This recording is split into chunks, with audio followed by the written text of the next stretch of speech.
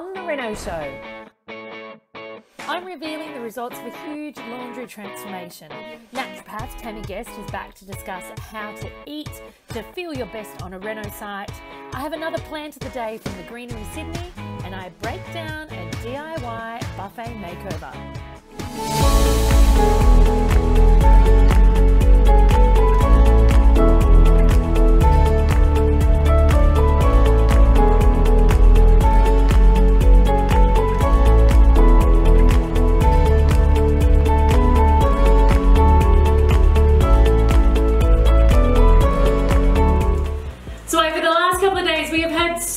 Trades in here.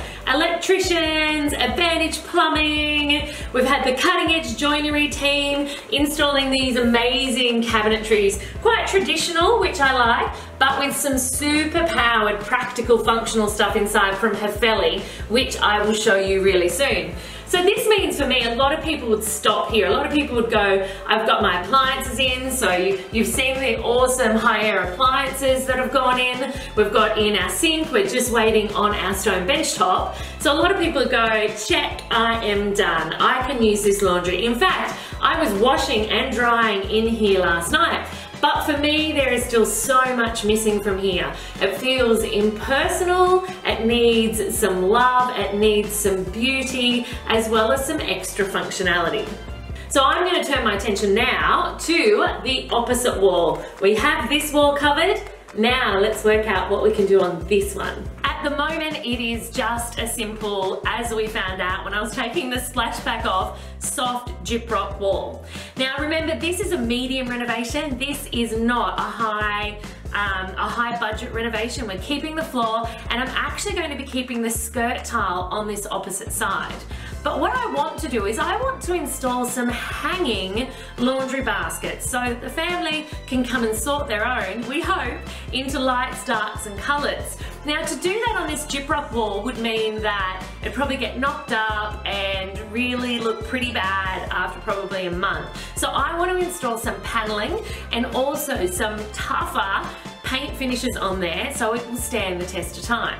And above that, as I mentioned earlier, I want to look at putting in some beautiful customized drying racks as well as some wallpaper that's going to bring some character, some texture and some pattern into this laundry as well as tie in the warmer brown tones that are already in the floor.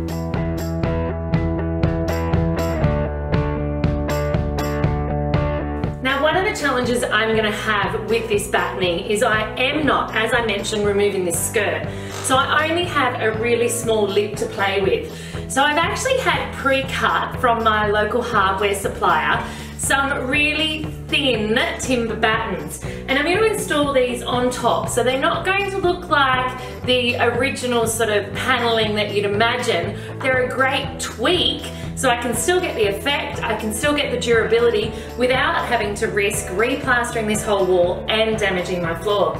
So I've spaced these out. First I did it visually because let's face it, they need to look good. And then I've measured it out to make sure that they're an equal distance apart. I'm actually going to be sitting that on top of the tile skirt making sure that it is absolutely vertical and then tacking it on with some really small nails. I'll then countersink them, putty them, paint them, and we're ready to go. Now the height that I've used to choose this is actually all about functionality, all about the height that I want the top rail to be and hence where I want the laundry baskets to hang from. I didn't want them too low because then they would hang on the floor. This is a wet area and I certainly don't want wet bags of clothes hanging from the wall and touching the floor. So I've done them high enough that once they're hung on their hooks, they'll have good floor clearance so it doesn't matter what happens in this room, they will stay dry.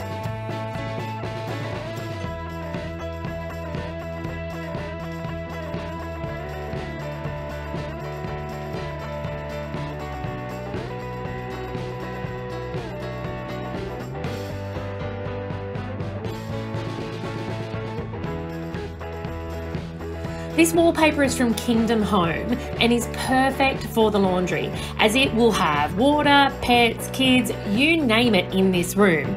This one can actually be wiped down and will handle anything the kids can throw at it, literally.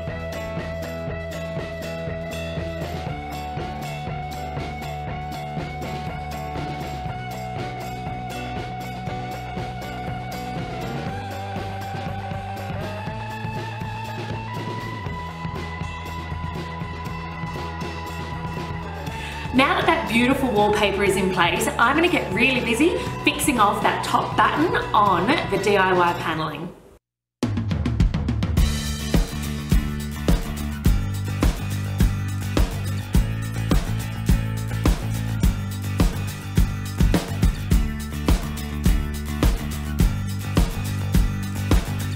Now when you're gapping in a place that you intend to paint over, make sure you use the right gapping product. It's not your standard silicone that you would use in your bathroom or on a splashback. It's actually an acrylic silicone that you can paint over with most paints afterwards. So make sure you get the right one.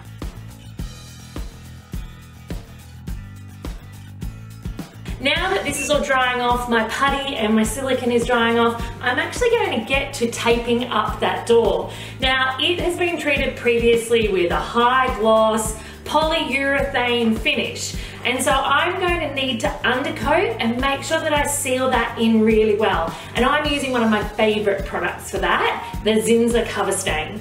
Now this cover stain, as I said, is one of my favorite products but it is also oil-based, so it is a terps cleanup. So I'm gonna wear some gloves so I don't have to clean my hands up with terps, because there's one thing that I know I am, and that is messy. I'm also gonna try and roll this cover stain on to make sure that I get a really nice um, clear finish with minimal brush strokes. To do that, I'm gonna use one of the Short Nap microfiber rollers.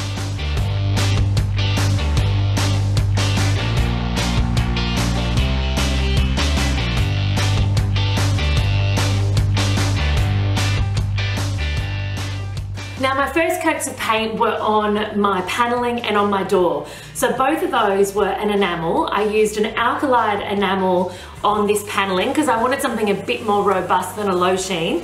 And I used a gloss enamel with an oil base on the door to make sure that it was truly, truly hardy because it's going to get a pile of wear and tear as people go in and out with washing out to the clothesline. But on the rest of the walls, I am harking back to my old favourite, which is the Taubmans Indoor. And I'm going to be popping that on the very few places that you can still see the old sort of fawny brown taupe colour.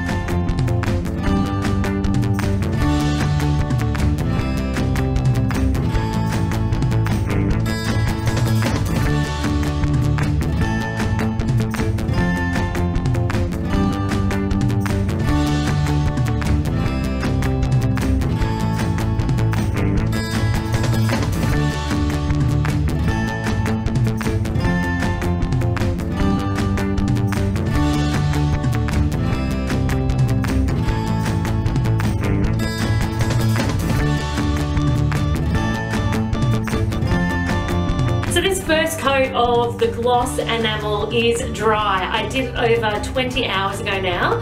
So now I'm gonna give it just a light rough up with sandpaper, clean down and do the final coat. The blue is just turning out beautiful.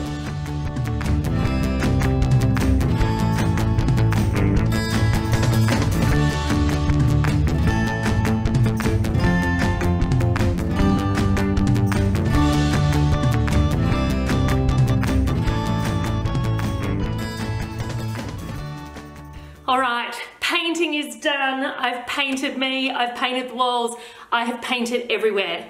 And now one of the things that I'm wanting to bring into this space is much more storage and the ability to dry clothes in there, the ability to have laundry baskets off the floor, the ability to have the peg out baskets away and not living in the lounge room space and the, the dining room space and the spare bedroom space like happens at so many homes.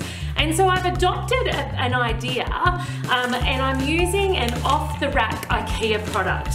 So this is some random form of kind of hanging, drying, storage rack that I am going to first try and build. I think it was easier to paint. And then I'm gonna customize it because if I put in this sort of matte silver drying frame into that beautiful navy white, floral, pale blue, dusty brown laundry, it is gonna look really out of place. And this is a perfect example of off the rack things can be customized. We don't have to buy old or recycled or second hand to want to customize. You can actually buy new.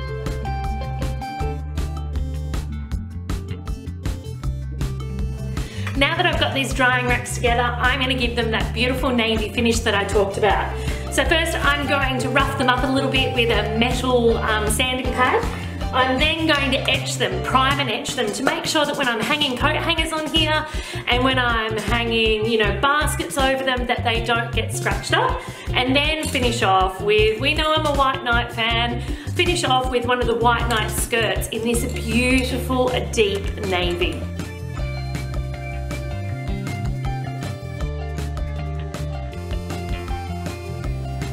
Always super important to spray paint in a well ventilated area or even outside.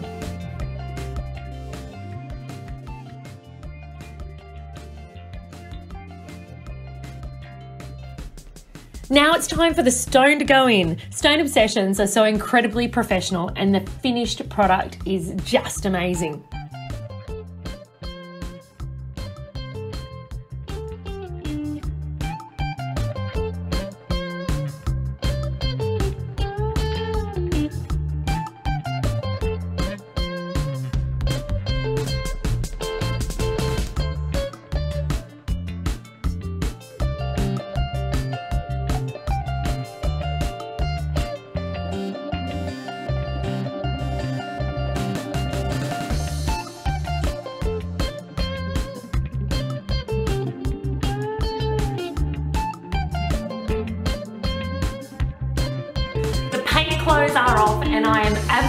Ready to get stuck into some of the finer details for the laundry. Now I wanted to make this laundry a bit more bespoke, a bit full of character. And one way to do that is to not leave any detail unturned. So it's nearly finished and I could certainly just throw in some plastic washing baskets but instead I've got myself some gorgeous navy striped um, linen. And what I'm gonna do with this is I'm gonna make three custom laundry baskets out of it. One for the darts, one for the lights, and one for the delicates. So this fabric is 115 centimeters wide and, or actually 1.2 wide, and I got three meters of it. Now from that top rail of the battening to the floor, it is around a metre.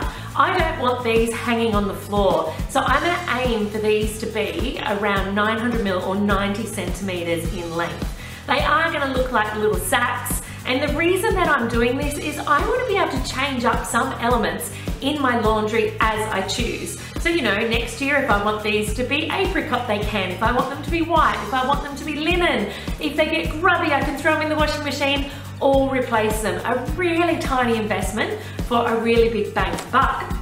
So all I'm gonna do, I'm going to cut this into three separate sacks, pop some little gold eyelets on them, and then secure them to hooks on the wall. As simple as that. And if you're not a sewer, never fear. You do need a sewing machine, but you don't need a lot of sewing prowess.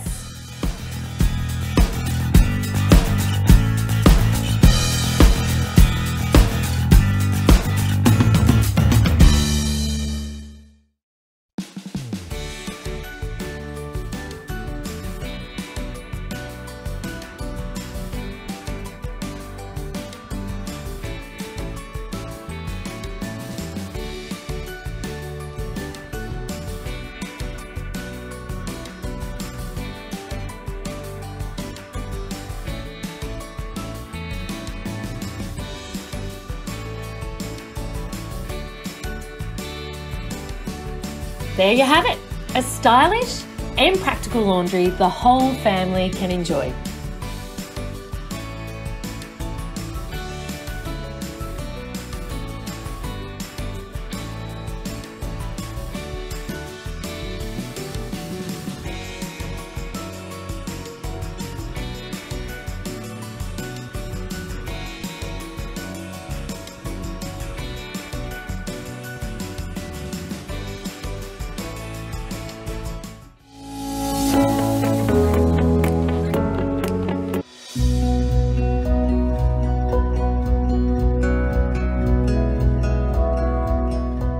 Plant of the Day with Chloe from the Greenery Sydney.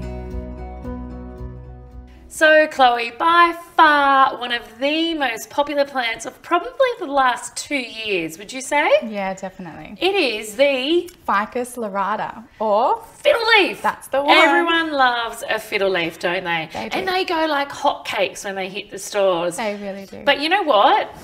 I love the way it looks, but gee, I've had some bad luck with them. You're not the only one. They can be a little bit fiddly, but once you No pun intended. No. But once you do get it right, they're very easy. So, what is the right formula then for a fiddle leaf? Um, you need to give it a name. I need to give it a name. You should give it a name. Johnny. Oh, there you go. That's Okay, Johnny. one. So that's the first one, is it? Give That's it a the name. first one. Johnny. What do I need to do to keep Johnny alive? Okay, so you want them in a bright room and not near a window that's getting any direct sunlight. So they obviously don't like being cooked then, No. because that's effectively what happens, right? When you have a plant right near That's a right. window, it just gets cooked with the heat. Their leaves will just burn. So definitely away from the window, but in a really bright room and it will thrive. What about watering though? Because I, I think there's this bad circle that people get into. They have it near a window so they can get light. It starts to burn. They think it needs water. They water. They love. They love Johnny. and then Johnny just becomes a twig. and they water too much. So they do like water, but they really like to air out in between waterings. They a good tip would be to stick your finger Right? about an inch to two inches into the soil. That's a really long way. if that's dry, then you're good to give it another water. Okay, and when you give it a water, a pot of this size, mm-hmm. which is you know nearly a foot mm-hmm. in diameter, mm-hmm. how much water do you do you give it, or do you just make sure that it's well drained so mm. anything it doesn't need it discards? That's right. So you want it to be draining out the bottom of the pot. Um, and another way you can do it is, I don't know about this size, but a lot of people like to put them in the shower and let the water run down over the leaves. Well, it's a great way to dust them. It is, it's perfect. So if you can't put it in the shower, you can put it outside, put it up high, and just give it a hose down. But bring it in. Don't leave it outside in Don't leave it outside. All right. Well, Johnny, I might actually take you into your new home and report back to Chloe in maybe a month. that sounds great.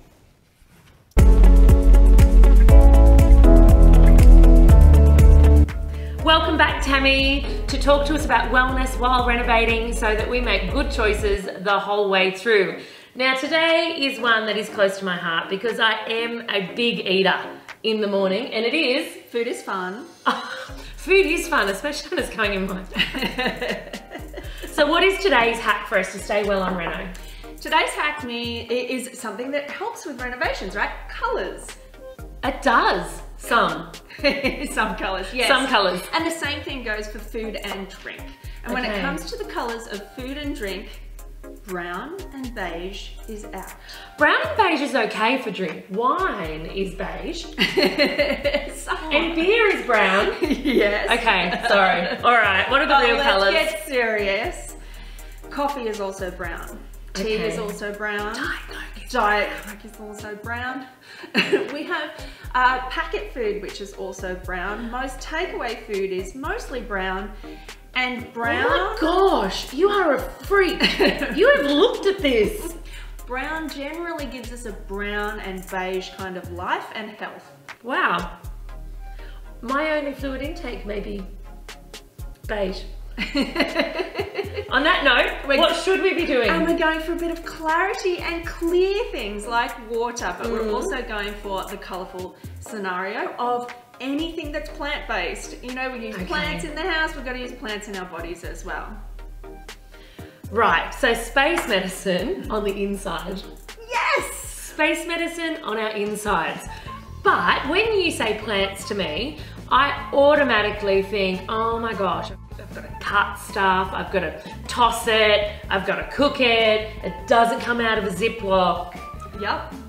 But have you been to a local supermarket lately? Everything is prepackaged in that plant area as well. So it doesn't matter if it's easy as long as it's a plant. Totally. Okay. Yeah, we're just aiming for five colours a day. Super simple. Five different colours? Five different colours. That's it. Are there that many in plants? Yes, of course there is.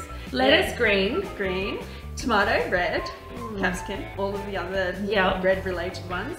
Uh, we've got blue, blueberries and um, eggplants and all of these amazing Lemon? kind of stuff. Yellow, lemon, yeah, orange, oranges, um, mandarins. We've got all. Fruit comes in its own package. You literally pick it up and eat it on the way while you're driving. What if you're not a big sugar monger? I'm not a big sugar person, and fruit's like got a little bit of sugar in it, right? Yeah, right. So, what are my other options that are quick and easy? Carrots, Okay. especially baby carrots. Uh, Why?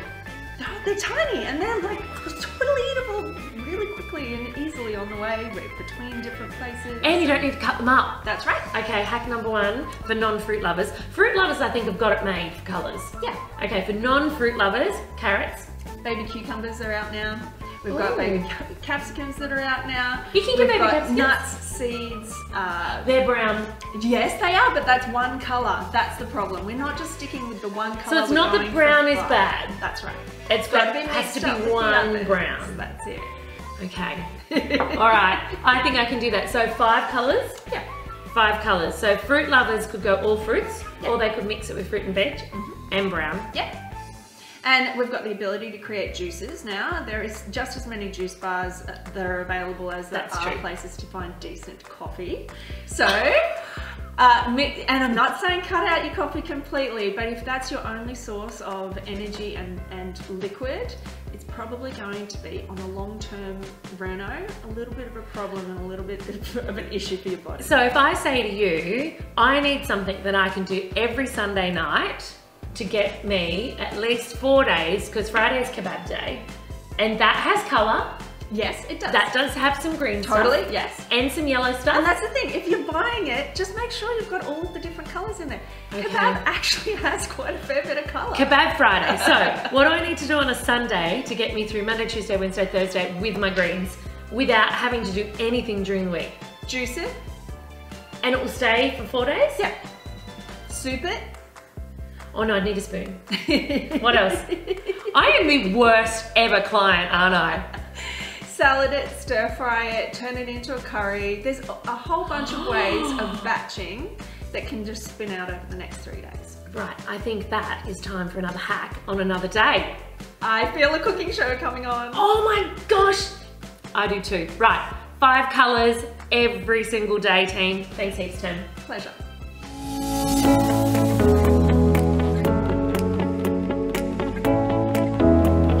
Right, Denise, I can feel another project coming on. So tell me this lady's story.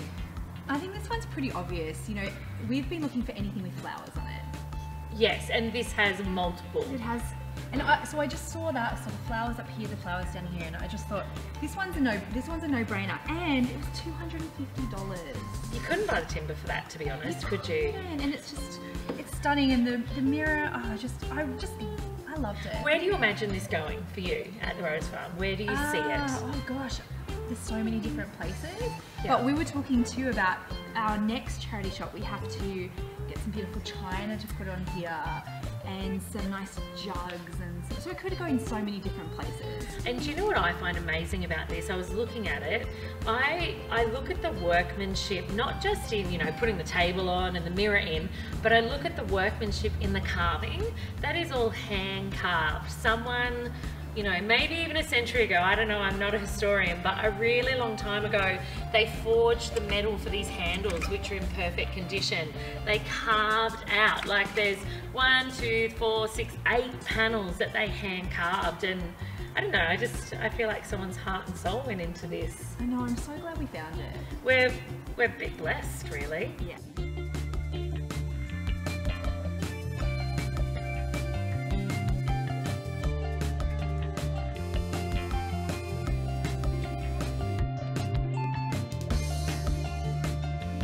As always, sand and clean all surfaces before painting.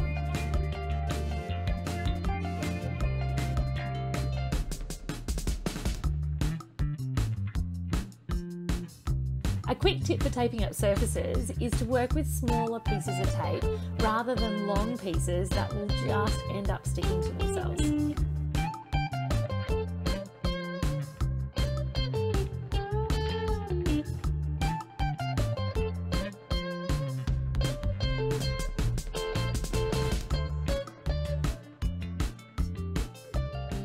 Now, I purchased this Porter's paint from my local Bristol store, and I'm actually going to be adding water into it. So it will be four parts paint and one part water. Now, this is a water based paint, which means that the paint and the water will mix together just fine to create this really lovely wash after you apply it and rub most of the paint off.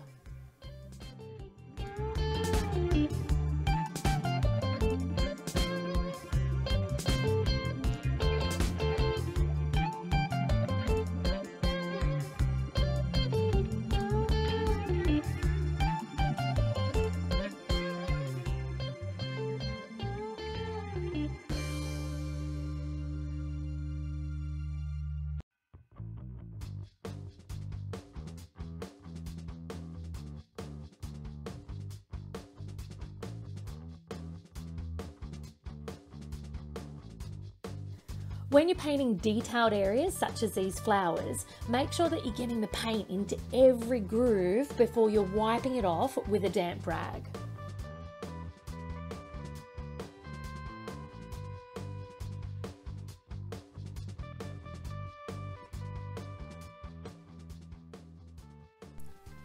Paint in the direction of the wood and wipe it off in the same direction. This will give you a really beautiful finish. Apply as much or as little paint as you see fit. If there's too much paint, apply a small amount of clean water to the rag and wipe the area down until you get the effect that is just perfect for you.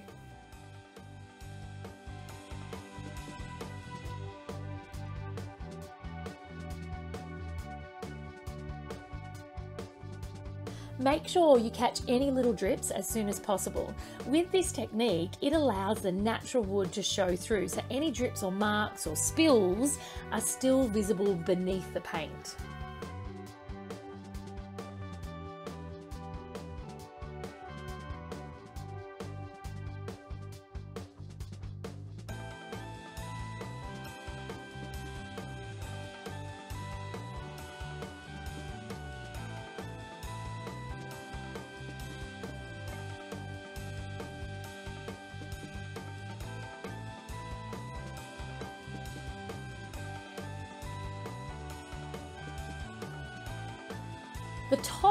Buffet had clearly been well used throughout the years, as there were coffee stains and other marks that sanding was never ever going to remove.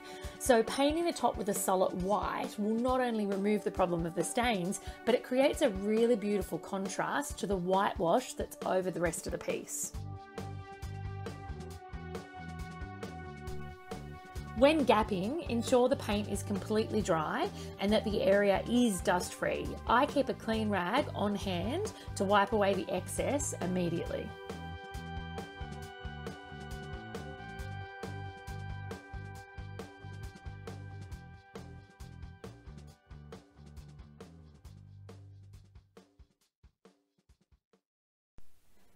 The final stage of this makeover is the wax. So apply the wax liberally with a wax brush before then rubbing it back with a clean, dry cloth.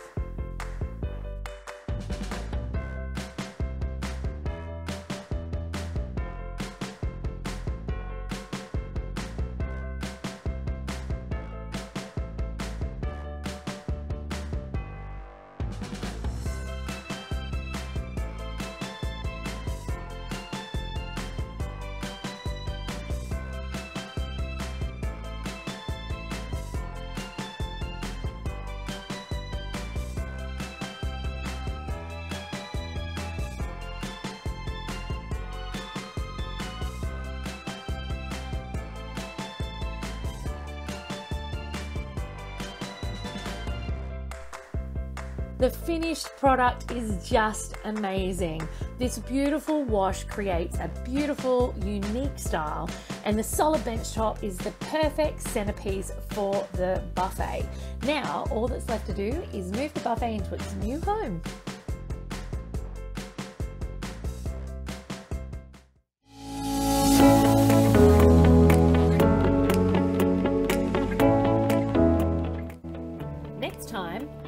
Show, I reveal four ways to style your living room. Patricia Lohan breaks down feng shui for your bathroom. Tammy Guest is back for another healthy hack for the Reno site, and I get started on another DIY upcycling project.